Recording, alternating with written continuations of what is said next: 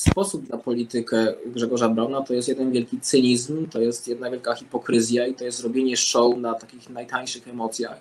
To jest bardzo szkodliwa społecznie polityka. Ona polega na tym, żeby Grzegorz Braun stworzył figurę, którą na siebie wymyślił, realizuje jakiś pomysł na siebie, to jest kompletnie nieperformatywne. To nie prowadzi do żadnej dobrej polityki, to niczego nie zmienia, oprócz tego, że e, robi dzisiaj z Grzegorza Brauna y, bohatera foliarzy i antymaseczkowców. E, moja opinia jest jednoznaczna. W miejscu pracy, w którym y, pracuje 460 osób, plus osoby, które, e, które pomagają nam tej pracy, więc to jest łącznie dużo ponad 500 osób, w których te osoby się nie znają, noszenie tej maseczki to jest podstawa jeżeli ktokolwiek, kto nie dysponuje doświadczeniem lekarskim e, o tym, że może tej maseczki nie nosić, bo takie przypadki też w polskim parlamencie się zdarzają, nie nosi tej maseczki na sali plenarnej podczas spotkań z ludźmi, których, e, których nie znamy, z którymi nie pracujemy bezpośrednio, no to jest narażanie, e, narażanie zdrowia i życia ludzi. Ponadto, co jeszcze jest bardzo ważne, mm, to jest taki jasny sygnał do społeczeństwa w przededniu kolejnej fali koronawirusa, że tej masek nie trzeba nosić. No mamy już dość nieodpowiedzialnych polityków, mamy dość tego, co mówił Szumowski, że maseczki nie chronią, potem się wycofywał, potem mówił e, Morawiecki, że już pandemii nie ma, trzeba iść, do, trzeba iść do wyborów. Potem Duda powiedział, że nie wierzy, że się nie będzie szczepił, bo to nie, nie wiadomo co jest. Mamy już dość nieodpowiedzialnych polityków, którzy narażają, e, którzy tworzą te, e, którzy umacniają ten przekaz, jakoby szczepionki nie, nie, nie pomagały jakoby, nie wiem, ta foliarska cała ideologia była zgodna z prawem, z, z, zgodna z, z, medycznymi jakimiś przekonaniami. No, wystarczy już tej nieodpowiedzialnej polityki. Tutaj nie jest ważne to, czy Grzegorz Braun będzie gwiazdą kolejnego posiedzenia, bo ktoś go wykluczy, tylko tu na szali jest zdrowie e, Polek i Polaków. I to jest przede wszystkim bardzo ważne, a ci hipokryci z Konfederacji, którzy w kuluarach mówią, że robili sobie testy na koronawirusa, które zamawiali przez internet, żeby nie trafić do bazy zakażonych, którzy opowiadają, że się szczepili, ale nikomu nie powiedzą, bo są tacy wow, super fajni y, anty, anty, antyszczepionkowcy, no to jest hipokryzja.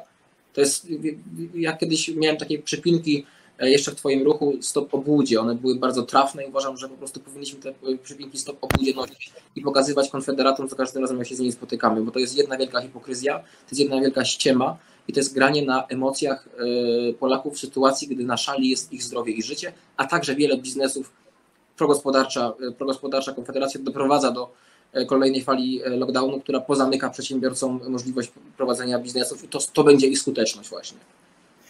A nie sądzi pan, że właśnie ugrupowania, między innymi pan przewodniczący Schetyna, czy inni posłowie, bo byli wielokrotnie łapani na sali plenarnej, zarówno lewicy, PiSu i innych ugrupowań w Sejmie, nie umożliwiają im właśnie takiej działalności poprzez również nienoszenie maseczek i zakładanie ich tylko dla kamer i też nie zawsze. Nie, tutaj apeluję do posłów i posłanek wszystkich ugrupowań, tych, którzy, które nie mają doświadczenia lekarskiego o tym, że tej maseczek mogą nie nosić ze względu na jakieś schorzenia bądź dysfunkcje, to, to, to apeluję do tego, o, o to, żeby te maseczki po prostu zakładali, żeby pokazywali, e, że to jest bardzo ważna rzecz, że to ogranicza rozprzestrzenianie się wirusa i że to jest nasza odpowiedzialność społeczna. I tutaj nie ma barw partyjnych, tutaj każda osoba, która, e, która chce dbać o życie swoje, ale też wszystkich osób wokół, powinna tę maseczkę po prostu założyć. To nie podlega żadnej dyskusji.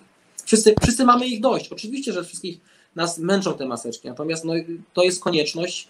Musimy się sobie szybko poradzić z tym cholercem, który nas trapi od, od, od, od długiego czasu i po prostu no, nie mamy innej drogi. No, szczepionki, maseczki i dystans. I to jest podstawa, która powinna być e, niekwestionowana. Panie pośle, jeszcze poproszę pana o trochę spekulacji tutaj. Czy sądzi pan, że posłowie Konfederacji się zaszczepili, oprócz pana posła Michała Urbaniaka, bo wiele osób uważa, że dlatego posłowie Konfederacji nie, nie, nie mówią, czy się zaszczepili, czy nie, ponieważ nie chcą ani zrazić antyszczepionkowców, ani osoby, które są otwarte na szczepienia. Gdybym dzisiaj się miał zakładać, e, to założyłbym się, że zdecydowana, prze, przeważająca większość e, koła poselskiego Konfederacja to osoby zaszczepione tylko na potrzeby strategii politycznej, mówiące o tym, że się nie zaszczepiły. Po prostu no, hipokryzja w wydaniu Konfederacji niczym mnie nie dziwi. To są hipokryci, którzy tak po prostu robią nie tylko w sprawie maseczek, ale w wielu innych sprawach. Także gdybym dzisiaj miał stawiać kasę na, na to, czy są zaszczepieni, czy nie, postawiłbym na to, że